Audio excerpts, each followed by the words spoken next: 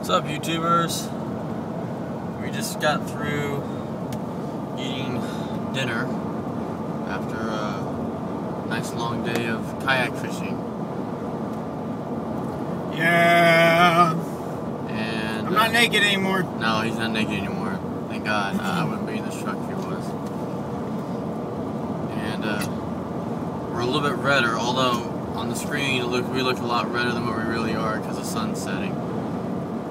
Yeah. Yeah. Neither one of us are that red. We are. Well, Chris maybe. Okay, dude. not cool, man. Not, Not cool. So, but uh, so, so Mr. Cordova, Yes.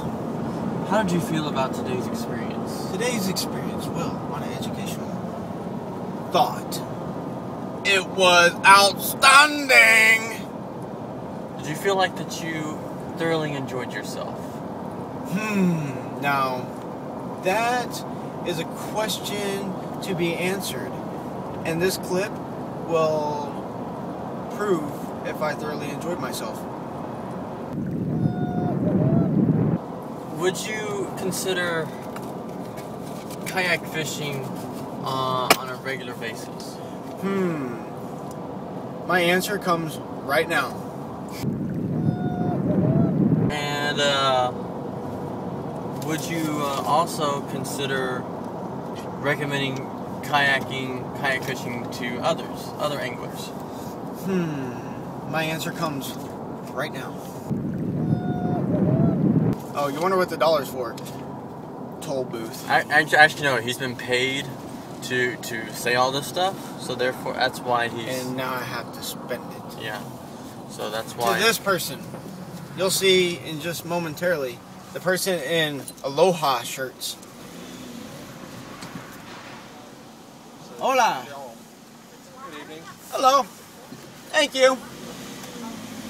That guy. Told you, aloha shirts. Not even in Hawaii, but they still wear them. They seem very um very personal, personable, personable, Something like that. something like that. Yeah. Next question.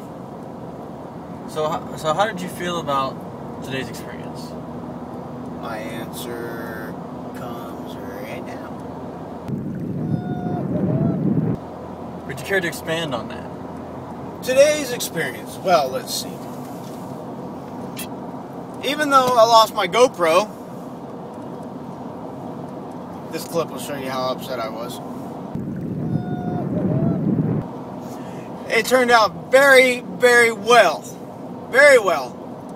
Um, I kind of had my my doubts about the kayak in the middle of the ocean, but considering that we went 10 miles out and surprisingly enough the swells there was points when we are in the troughs and the swell was almost double overhead and yet it was still sturdy and it's a totally different ball game on a kayak when you're trying to fish for sharks Oh, it is. Yeah. I, whenever I had uh, whenever I had my uh, pretty sunset Oh yeah, here.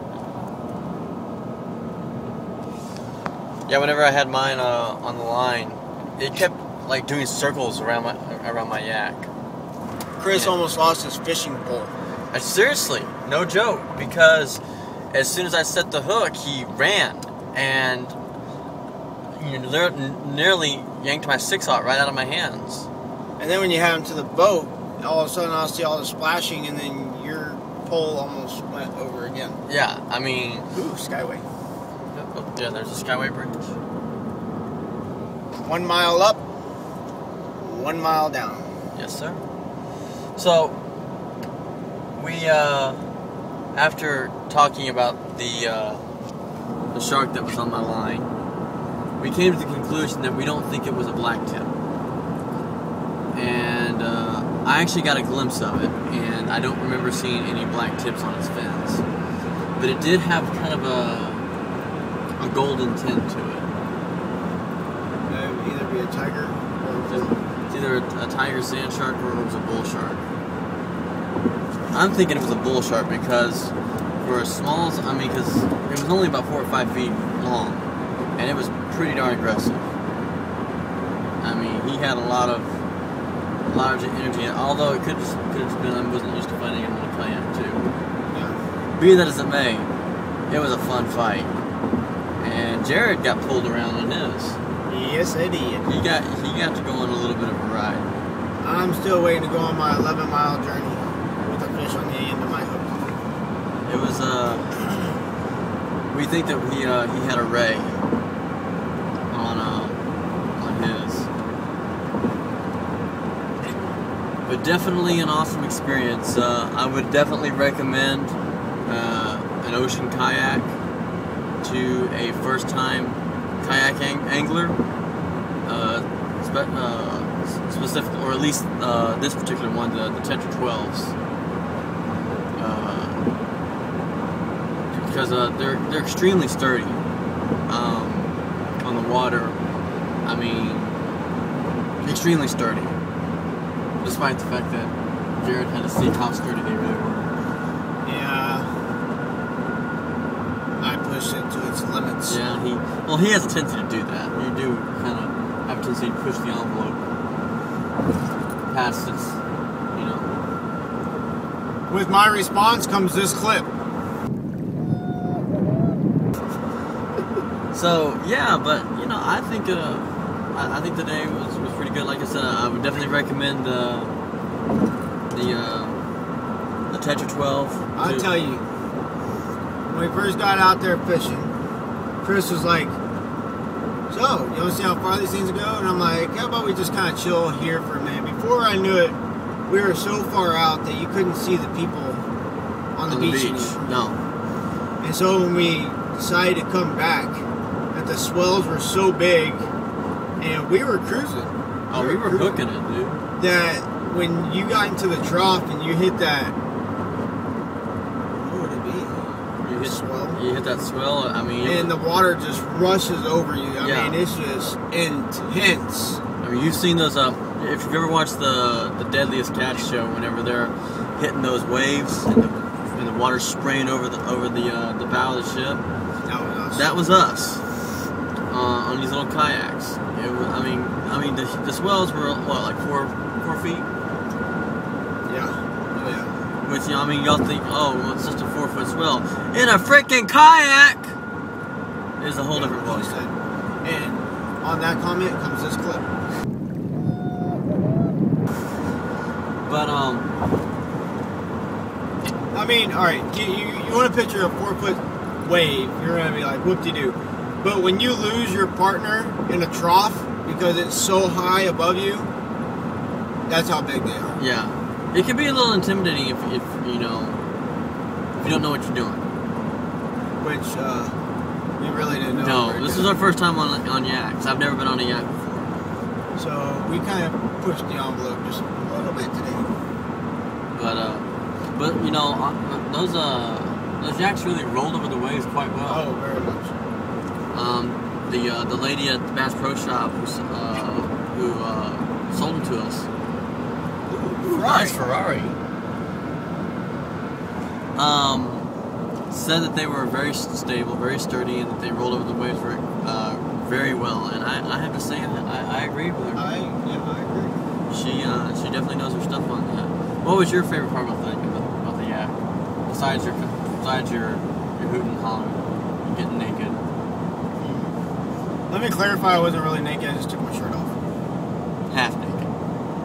Uh, The upper half. I think that I can get in places that I didn't think I was ever going to be able to get to. And not with a 32 foot boat either. No, no way. Heck, not even with like an old 24 footer. I mean, considering that you're in a kayak that weighs 65 pounds you're out in the middle of nowhere. And when I say the middle of nowhere, comes this clip. You know what's amazing though is that uh, we were, when we were on the on the beach, we can't. We actually we landed for, uh, for a short time to kind of hydrate up and kind of take, take a breather before we went back out. And the yaks were sitting in like two inches of water and floating freely in two inches of water. Try and try and do that with your, you know, Oh no, yeah, we saw a sailboat that was tipped over because it got too shallow of water and the tide went out. well, That's what I just picked mine up in this walk. I mean, this, these things are going to do really well on the flat. I think we should go on the flats next time with the suckers. See if we They're can. right there. Yeah, right there. See if we can, uh, see what kind of reds we can pull out. Reds and specks. So, Rock on. I am very satisfied with today. Very, I can't wait to do it again. very. I'm to sleep very well tonight. And on that comment comes this clip. So, well, besides that, uh, is there anything else you want to add? On that comment, here comes this clip. So there we go. So we're gonna go ahead and uh, bring this to a close, and we'll catch you guys on the flip side. Comes this clip. Peace. Deuces.